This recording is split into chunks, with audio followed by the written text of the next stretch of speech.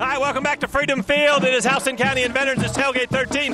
Doug Rizer, the principal of Houston County High School, is with us. Been the principal for five years now. All right, so I come into your office and I'm saying, I'm thinking of bringing my child to Houston County High. Why is that a good choice?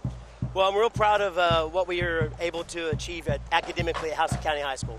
You know, the last several years we've less, led our system in the CCRPI and uh, actually led in the graduation rate as well. And uh, we're very proud of that. Academics come first, but uh, it's also just a great place to be. This homecoming week for us, and uh, it's been the best homecoming week we've had in the last five years at HOCO. So academics are great. Football team's 4 0 and the softball team's 20 and 2. It's a pretty great time to be a Houston hey, County Bear, isn't it? Hey, bear down, baby, bear down. it all comes down to leadership. Doug Rizer is the principal of Houston County High. He's got reason to be excited. And tonight at 6 o'clock, very first ever bear walk. Going to do a bear walk at 6 o'clock with our entire football team. First time ever.